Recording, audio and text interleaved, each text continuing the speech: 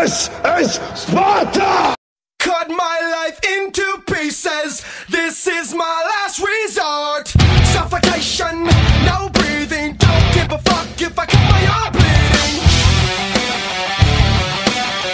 This is my last resort.